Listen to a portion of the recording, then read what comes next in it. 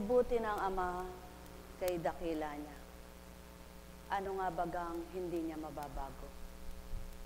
Sino nga bang katauhan ang walang pagbabago?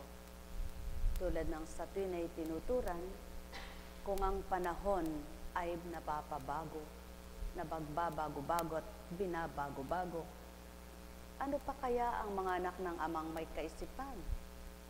Matatalaan ang kabutihan, masisidlan ang kabanalan. May tuturo ang marapat, makasusunod siya dapat. Kahit ang may pandinig ay nakarinig.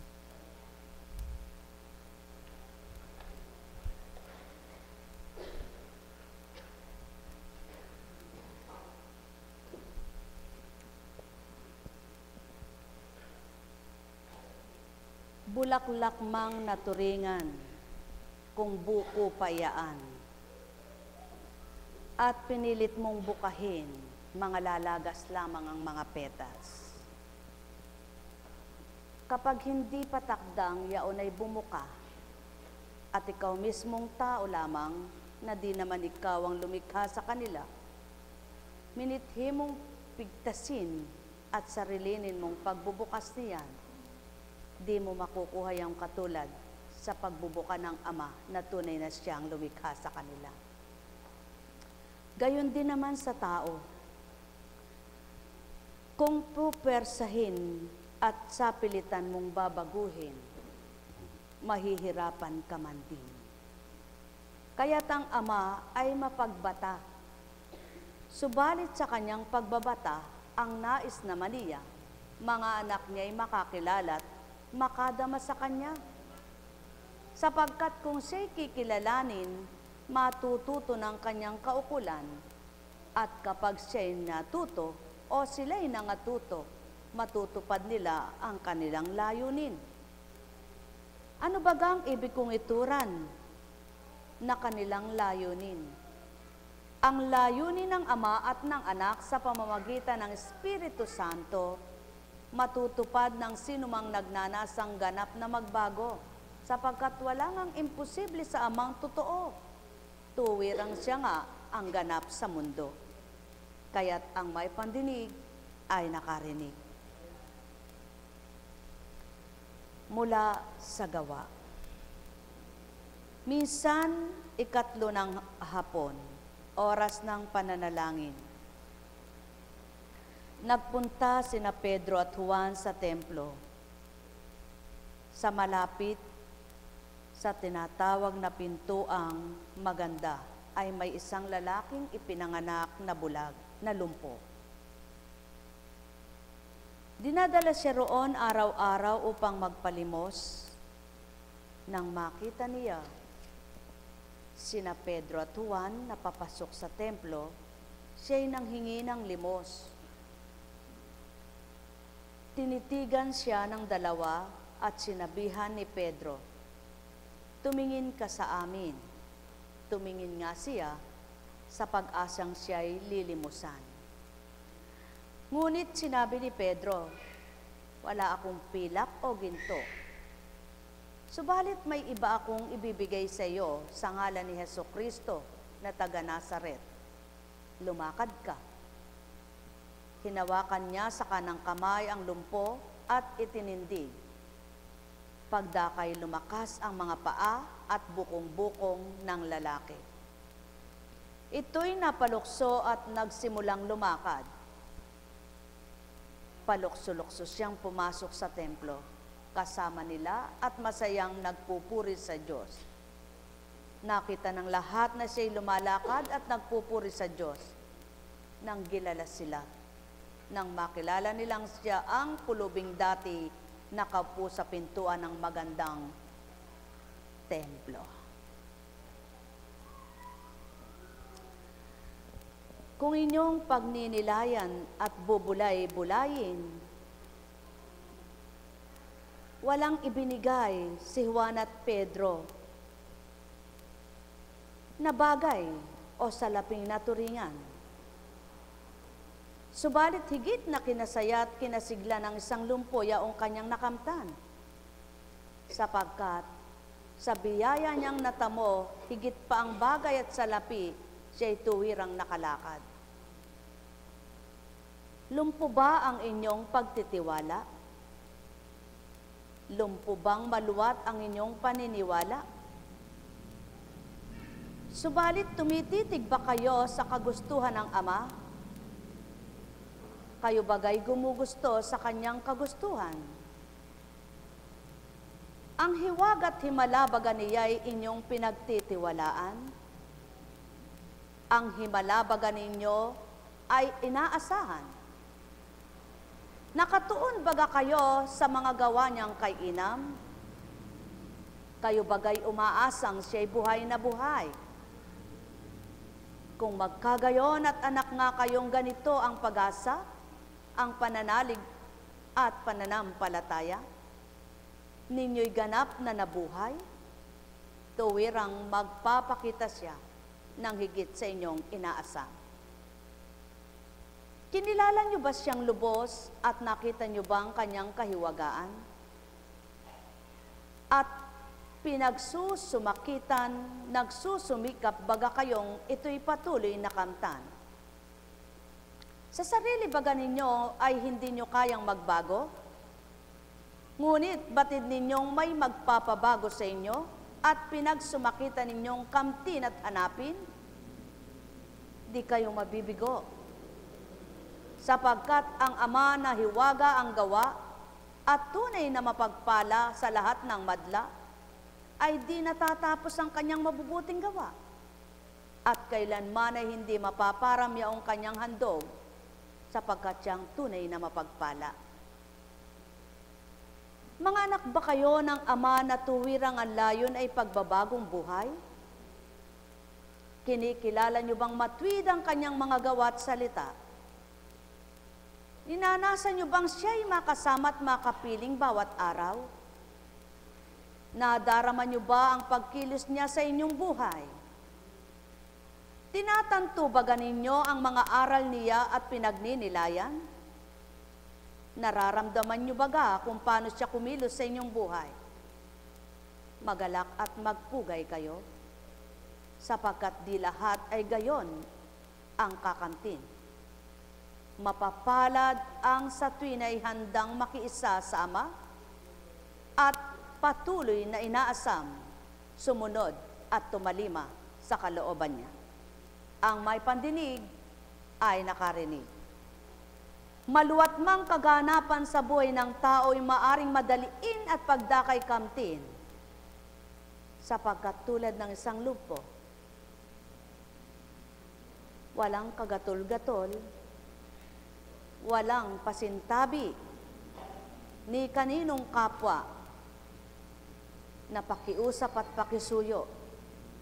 Subalit ng niloob ng Ama, di man kanyang sinasadya't hindi man niya inaasam. Nakalaya siya sa kalumpuhan niya at tuwirang humakbang ng diretsyo.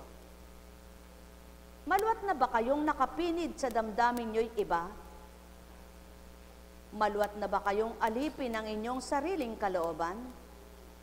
Subalit ninanasan niyong makalaya at kayo'y magbigay galang sa inyong amang di nasisilayan at patuloy niyong pinupugay?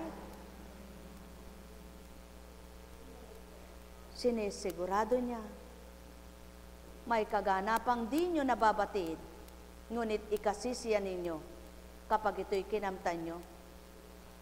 May gagawin siyang hindi ninyo namamalayan, ngunit kapag inyong nasumpungan, inyong ipangangalandakan. Gayon ang Ama. Mahiwaga siyang gumawa. Mapagpala siyang lubos. Matapat siya kaninuman at di kailanman naglalaho yung kanyang mga salita. Tuwirang walang pagkabula, anak niyang mahal, mga anak niyang minamahal, ang may pandinig ay nakarinig. Nekkarameneyahana, nekkarameneyahana, nekkarameneyahana. O aking ama at ama nila, natuwirang ama ng lahat ng tao sa lupa, ang mga kapahayagan mo'y buhay at may kapangyarihan, ang tuwirang tapat at sa iyo'y kikilalang lubusan. Yaw na'y tinuran mong tuwiran, may pakinabang silang kakamtan. Nekkarameneyahanam, nekkarameneyahanam, nekkarameneyahanam. Buhay ba ang Ama? Dakila ang Diyos sa lahat. At kung paano ang katuparan noon, pinatotohanan wala man ang isang Heso Kristong nagkatawang tao tumubos ng kasalanan. Subalit, yaong mga iniwanan niyang pinagtiwalaan at binahaginan ay nakatupad sa marapat nilang tupdin nakaganap sa marapat nilang tuparin. Sumunod sila sa marapat nilang sundan, sapagkat ang ama at ang anak ang kanilang kinilala. Ngayon, sa panahon ng Espiritu, nagnanasabang tumalima ang mga anak ng Ama?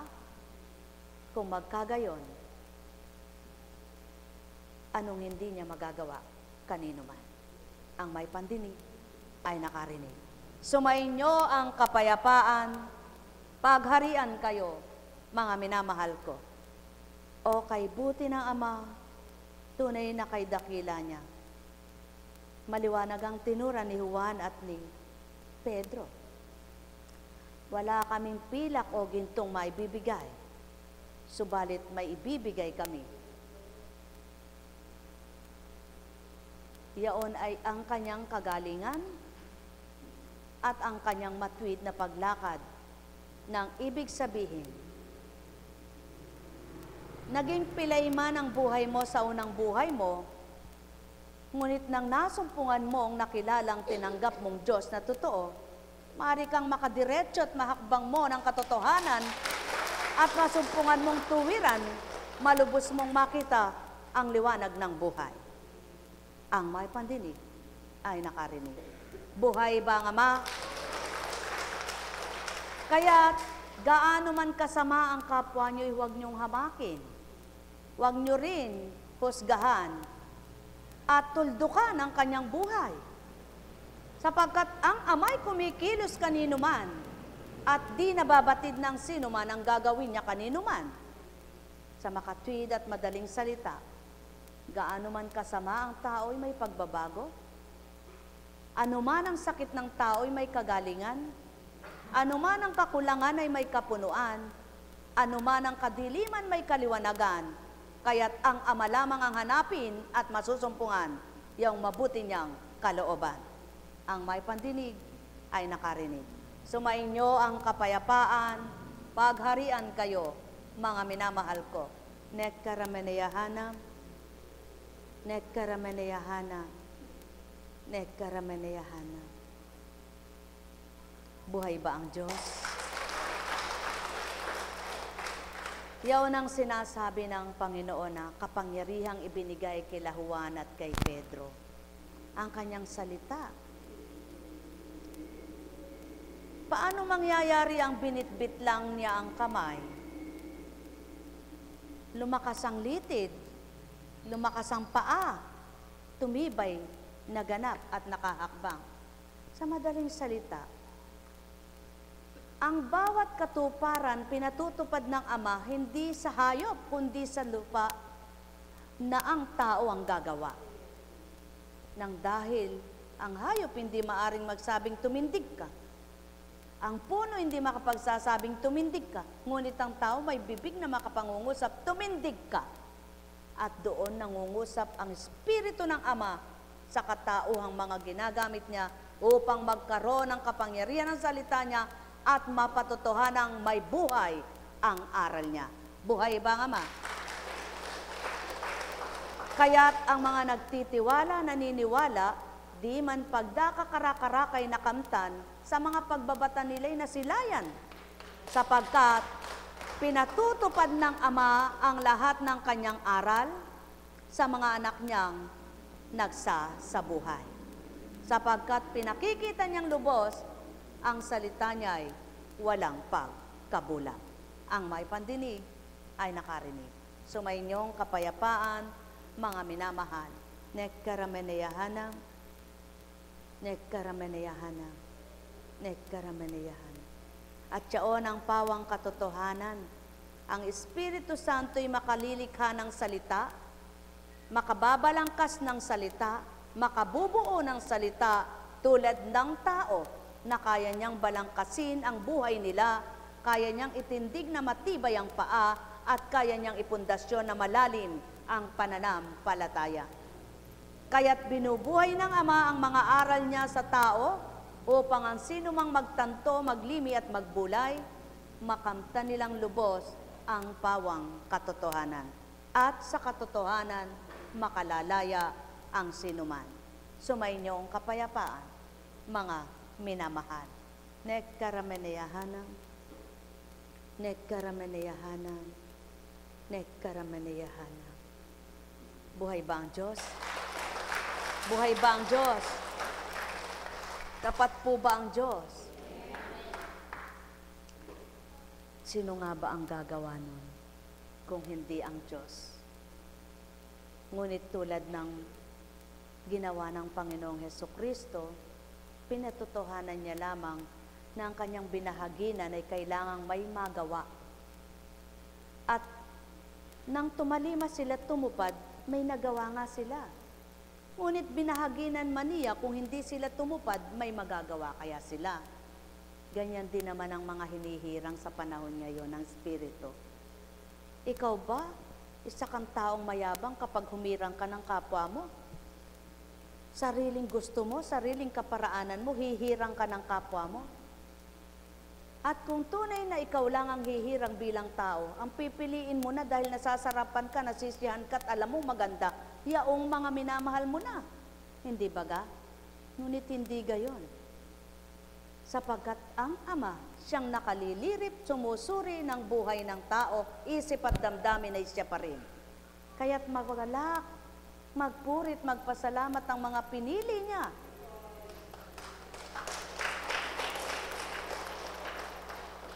Nawa, may sa buhay na ganap ito at mapagtibay ang katotohanan.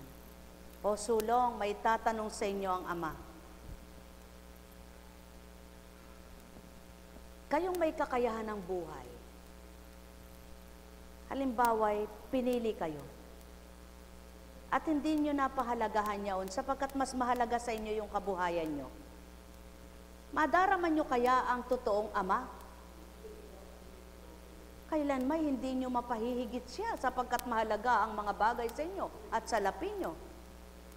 Ngunit subukan nyong isurrender ito sa Kanya ilagak nyo sa Kanya at mapangungunahan niya kayo, kaalinsabay ng pagsuko nyo at pagtupad sa Kanya, mapapadaman niyang totoong may pagmamahal at tapat na ligaya, payapang isip nyo, panatag na kalooban, at masiglat malakas na pangangatawan at maligaya pang buhay. Buhay ba nga ma? Sapagkat mapalad kayong mga pinagpala niya kung yaong mga mahihirap na nakadama ng kasiyahan sa Espiritu ng Amay, maligaya na, ano pa kaya kayong kaibuti ng buhay? Bakit hindi ito mapagtanto? Bakit hindi ito masuri? Bakit hindi ito malirip? Kung tunay na ang tao ay nasa Espiritu,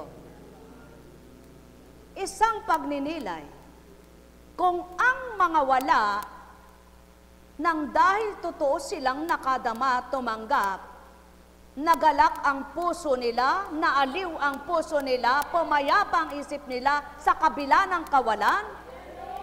Kayo pa kayang masagana ang buhay?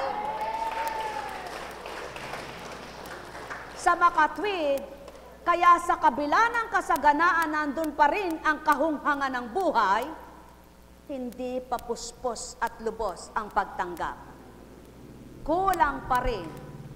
May takot mawalan, may takot magkasakit, may takot maubos, may takot na isuko, sapagkat ang lahat ay sa taong pagkatakot. Ngunit kapag ang nanaigay ama, ang lahat ng takot sa isip ay mapaparam at ang pawang katotohanan, kaya't mapapalad ang mga nakalusot hambing sa karayom, sa butas ng karayom, na may kakayahan at mayamang pinatawag, mapapalad silang nakapasok sa karya ng Ama. At yaon ang pawang katotohanan, sapagkat lirip at tarok ng Ama, isip at kalooban ng lahat ng anak niya.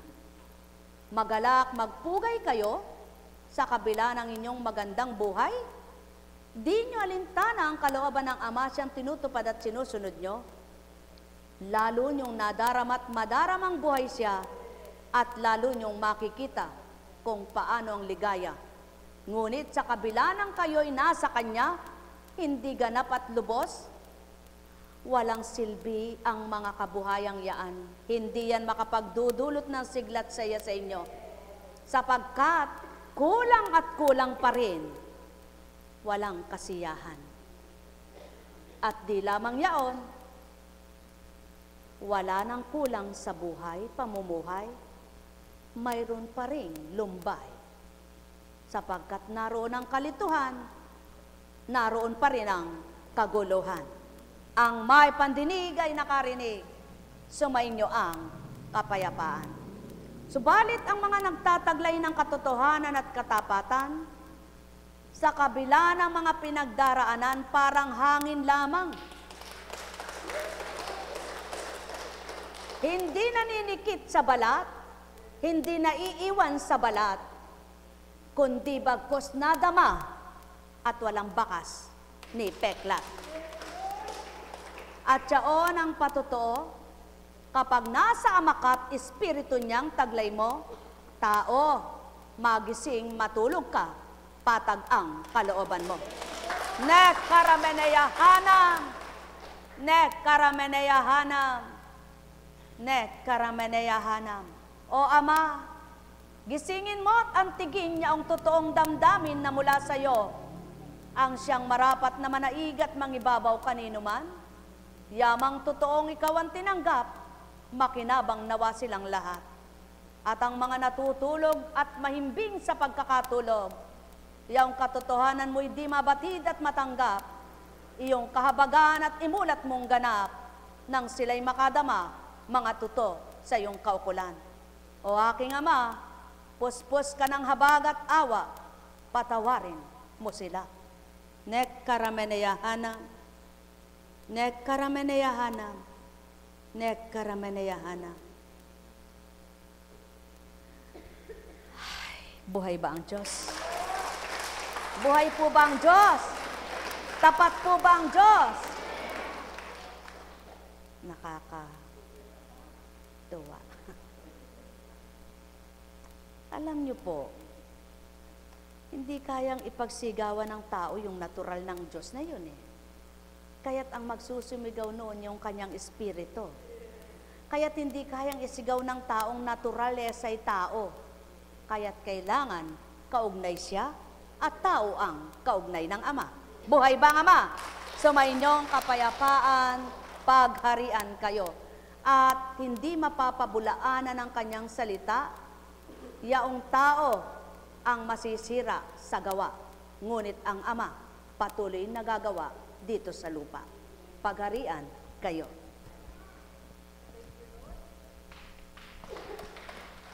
Buhay ba ang Ama? Buhay ba ang Ama? Kaya nga, to the max na galak, to the max na liwanag, to the max na kasiyahan, to the max na pananalig, matanggap nyo sa inyong puso. Makilala nyo ang Diyos na dakila sa lahat. Sumayinyong kapayapaan, pagharian kayo. O sulong, hinahamon kayo ng Ama.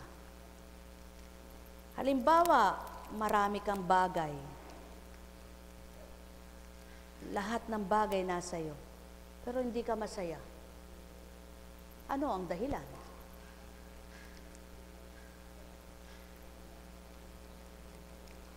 Ngunit nakikita mo yung kapwa mo. Kung kumain ay ilan lamang ang kinakain. Ikaw ilang beses kumain sa maghapon. Ang panunuot ng damit mo kaiba sa damit nila. Pero ba't maligaya at masaya? Hindi ba nakakaingit siyaan? Yaon ang nakakaingit na dapat mong matularan. Hindi yung kayamanan ng kapwa mo ang nakakaingit. Sapagkat hindi dapat kaingitan ng bagay. At lalong hindi dapat kaingitan ng salapi. Sapagkat ang salapi at bagay ay nakapaglulumod dyan sa impyerno. Ngunit, ang kabutihan na pagkaingit ay ginawa mo at tumulad ka at tinularan mo, pahahango ka niyan sa impyerno. Buhay ba nga ma?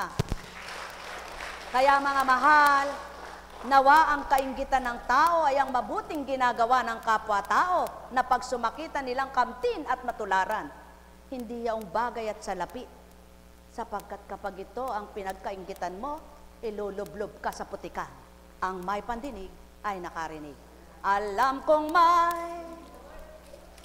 magagawa ang Ama. Sapagkat kapag ginusto ng Ama, maraming pamamaraan siya para ibigay at pahawak ang yaong nasa niyong hawakan. Marami rin siyang pamamaraan para bawiin niya kung ano ang bagay. Kapag ginusto niya ay parang bulang napaparam.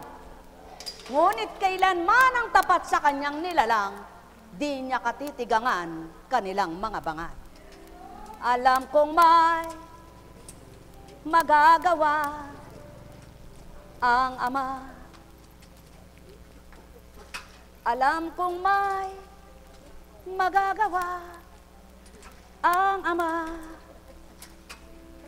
Pagkat winika niya manalig ka na.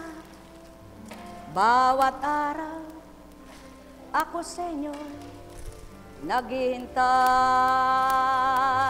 Alam kong di ringgin kayo ng Ama alam kong di ringgin kayo ng Ama Pagkat winika niya, manalig ka na. Bawat araw, ako sa inyo'y may nakalaan. Mayroon magandang mangyayari sa inyo.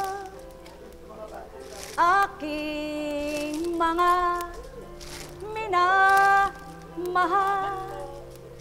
Mayroong magandang mangyayari sa inyo. Manalig umangkin at tanggapin. Alam kong may magagawa ang Ama. Alam kong may magagawa ang Ama. Pagkat winika niya, manalig ka na. Bawat araw, ako sa inyo may nakalaan. Mayroong magandang mangyayari sa inyo. Aking mga minamahal. Mayroong magandang mangyayari sa inyo. Manali, umangkin at tanggapin. Sa Sabado po ay wala tayong gawain sapagkat maaga po tayong may prosesyon, di po ba? Feast day ng ating Divine Mercy. Kaya po, ang gawain natin ay susunod na Miyerkules na po uli. Inaanyayahan po yung ating kapatiran na kung makisa po sa prosesyon natin. Ang oras po is alas 5 muli. Alas 5 po. Alas 5 po ang ating prosesyon. Moving na po yon. Yun pag alis na po yon. Alis na po tayo ng alas 5.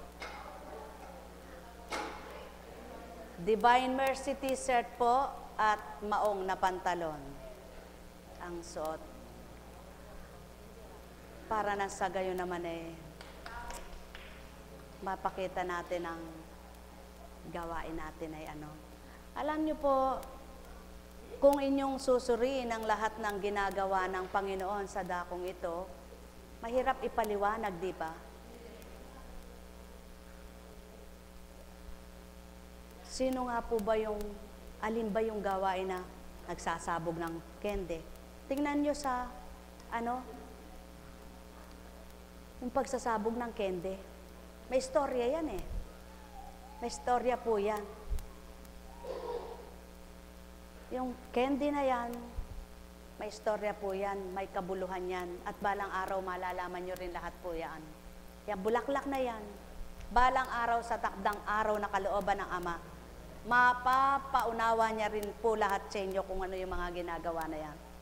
At sa takdang panahon na yaon, araw na yaon, palagay ko'y panahon na, sa pandama ko'y panahon na, malalaman nyo rin ang Diyos na pinaglilingkuran at tinatawagan nyo sa dakong ito'y buhay na buhay. At ang mga nagbabata, tuwirang may pakinabang. Nakakaawa yung mga nagpapalagay na mayroon, tapos pala ay masigit palang mayroon ng wala. Magaganap po yan. Tandaan nyo, may mangyayaring ganyan. Tandaan ninyo, itaga nyo sa bato. May mangyayaring ganyan. Itaga nyo lang sa bato. Kapag naganap na yaon, purihin nyo ang Ama. At kawan nyo naman yung nagpapalagay na akala'y di nakukulangin. Kahabagan at ituwid, ipanalangin. Sapagkat, kung papaano ang tubig ay napapaahon ng Ama sa dagat at napapatunguhan niya ang lahat ng bukirin para laganapan ang nais niyang patubigan, gayon din sa buhay ng tao. Sapagkat, kung mayroong bukid din na madamot ang katabi, ni ayaw magpatubig, ayaw padaanin ng tubig yung kapwa niya, kung minsan eh, kung sino yung madamot sa tubig, mas maganda pa ang inani noong hinahamak-hamak na ayaw patubigan eh. Ganyan lang ang buhay. Pakatandaan ninyo kapag ang isip at damdamin nyo sa kalooban ng Ama nyo pinaghari at pinanguna, hindi kayo mahabag sa sarili nyo. Sapagkat, lagi kayong nakatuon sa pag-asang may gagawin ng Diyos sa inyo. At lagi kayong magpapakababa sa Kanya sapagkat alam nyong ayaw niya ng mataas. Maliwanag niyang sinabi kanina sa mensahe, ang sangka na mataas, mahirap papasukin ng tubig. Ang bukid na mataas, mahirap patubigan. Subalit, ang bukid na patag at mababa, napapaapaw ang tubig.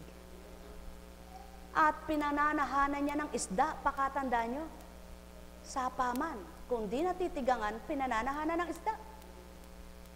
Mamahal, ang Diyos ay pag-ibig. Paano mong nasasabi, Diyos mo, na may sinuko ka kung hindi ka naman nagsuko? Na may ginawa ka na wala ka namang ginagawa? Na may pinagbatahan ka at wala ka namang binabata? Pakita mo't patotohanan at pakikita niya rin patotohanan sa iyo lahat ng pinagdaanan mo, siya rin naman ang nakakakita sa iyo. Kaya't mapapalad, magagalak at magtuwiran niyang magsigalak. Yaong bawat araw. Wala nang inisip kundi pagsusumakit, pagsusumikap na siya'y kamtin at madama. At ang isip ay maliwanag na hinahain sa Kanya. Tandaan ninyo, tuturo ng amang buhay na buhay kung ano ang dapat nyong gawin at ipadadama sa inyo kung anong nararapat nyong kamtin. Kaya naman, sa kabila ng inyong mga dinaranas, para kayong bakit kay gaan-gaan ang inyong katawan? Bakit kay luwag ng inyong pakiramdam? Bakit hindi kayo nababagot na bubugnot? Sapagkat nandyan sa inyo ang katimpian dahil amay nasa inyong katauhan. Buhay ba ang ama? Buhay ba ang ama? Kaya pag-aralan nyo, pare-parehas mang manok. Inahinyaan, di pare-parehas ang iiitlog. Tama ba ga? Pare-parehas mang isda at ito'y nangingitlog para magkaroon muli ng isdang ipanganganak. Hindi pare-parehas ang dami nila. Na ito ay naging anak ng isang isda ay gayon din ang isa. Ngunit takandaan nyo, habang nabubuhay ang mga nangingitlog, may pag-asang mangitlog. Buhay ba ang ama? Alalaong baga, iniba ng ama ang tao sa panganganak kaysa sa hayop. Sapagkat ang tao ay di maaring matulad sa panganganak ng hayop. Kaya naman ang ibig sabihin ng ama, gawin niyong mabuti kung papaano kayo pakinabang ay binibigay ng ama. Sa gayon ang bawat araw na kapakinabangan na mula sa kanya, kayo rin naman ang makakakilala kung ano at sino siya na nadarama niyong lubos, ano baga ang handog niya. Yaon ang pawang katotohanan, kaya't sa inyong lahat, mga kapatirang Divine Mercy, patuloy nawang magliwanag ang diwa nyo at makaunawang lubos kayo sa nasa at layo ng Ama sa buhay ninyo. Pagpalain kayo.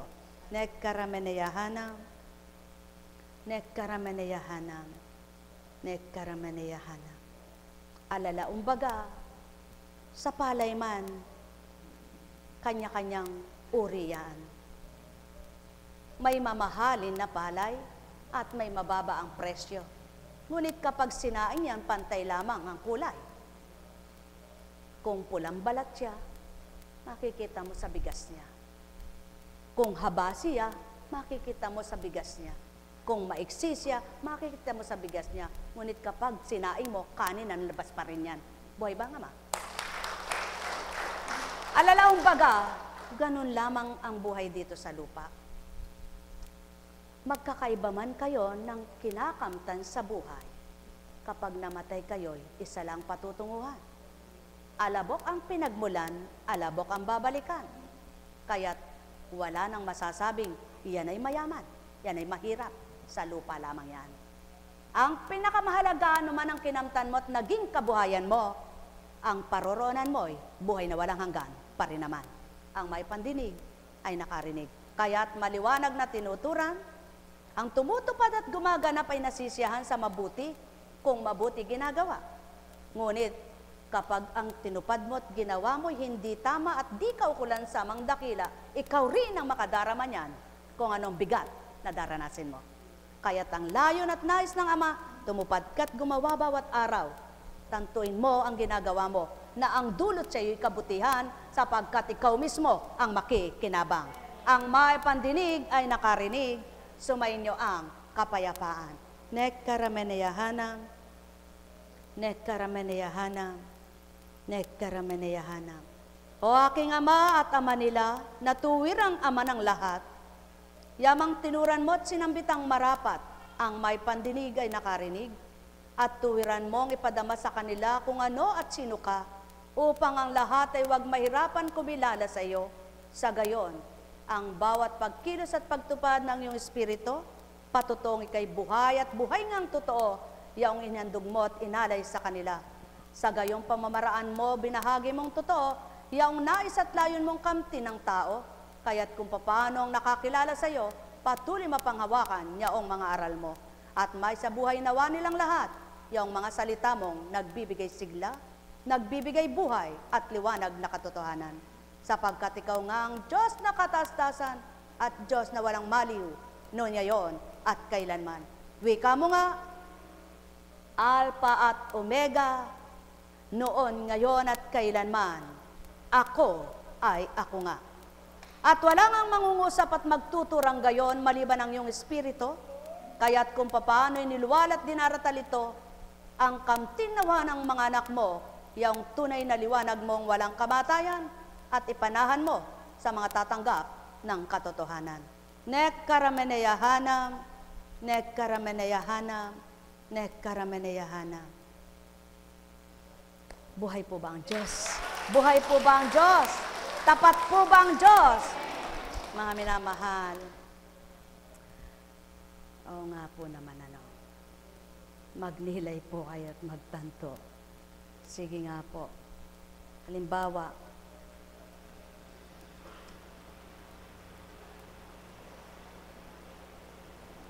nakakita ka ng mahirap, matandang uugod-ugod, naglalakad mag-isa, walang alalay,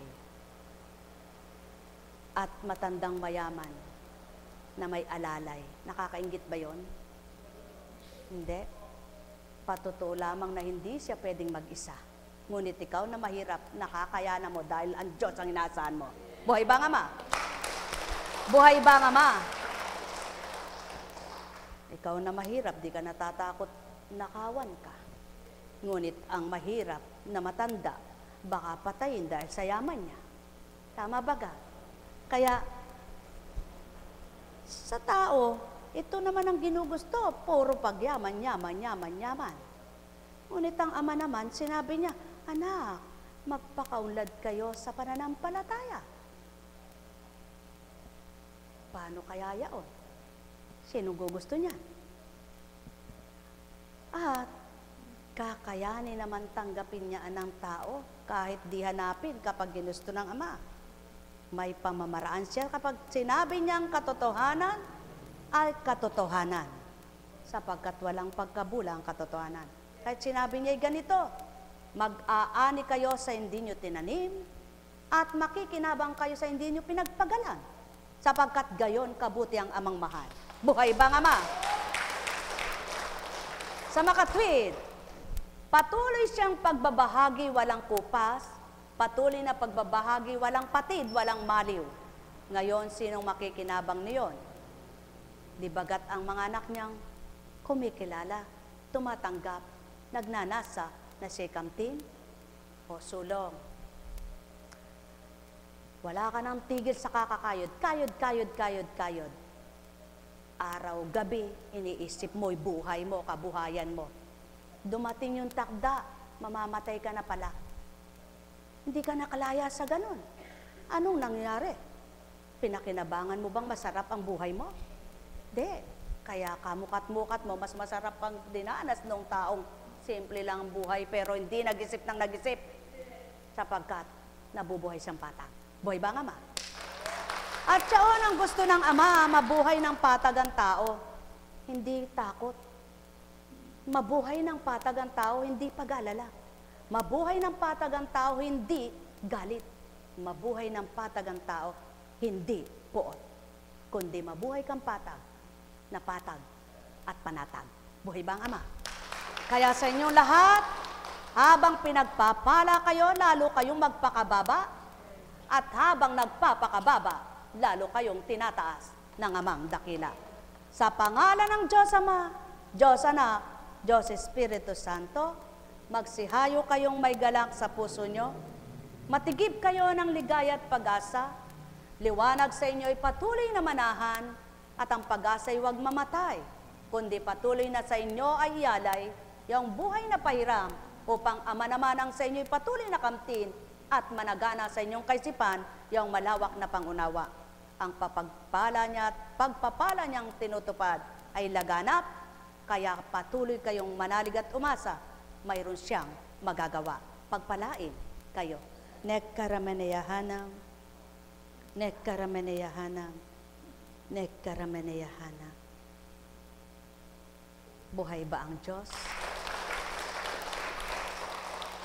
Mga minamahal na kapatid, kung tunay nga lang pong may espiritu kayong pangunawa, pag binaybay nyo ang banal na aklat, ang banal na Biblia, baybayin nyo yung mga istorya ng mga ginamit niyang propeta, kung paano ang mga pinagdaanan nila, di sila nagpasarap sa buhay. Sakripisyo. Ngunit sa kabila ng sakripisyo, masaya sila, maligaya. Dahil nandun ang presensya ng Ama. Ang Espiritu niya ay nangungusap sa kanila. Kaya tinatawid sila sa hilahil at dusa. At pagkatapos ng mga pinagdaanan nila, napapatotohanan ng amang salita niya ay buhay na buhay at walang pagkabula, doon nila napapakita. Totoo palang tinanggap nilang Diyos na may waga. Buhay ba ang ama? Baybayin niyo ang istorya ni Abraham kung paano niya nakamtan ang tunay na yaman. Ang istorya ni Job, kung ano baga ang nangyari sa kanya. Ang istorya ni Isayas, ang istorya ni Sikyas, ang istorya ni Tobit. Kaya lang ang istorya ng kapwa-taong gusto niyong basahin at alamin, kaya hindi niyo malaman ang katotohanan. Ang may pandinig ay nakarinig. Mahal na mahal ko kayo. Tuwiran ko ang tinuturan. Mahal na mahal ko kayo. Kaya't kung kayo'y may pandinig, patuloy kayong magagalak. At kung kayo'y nagagalak, patuloy kayong maaliw. At kung kayo'y naaliw, patuloy kayong lalakas. At kung patuloy kayong malakas, patuloy kayong may pag-asa. Pagpalain kayo. Humayo kayo sa patnubay ng Ama at kamtin nyo ang patuloy na ligaya. Nekkarameneyahanam, nekkarameneyahanam, nekkarameneyahanam. Tayo na po, mga minamahal.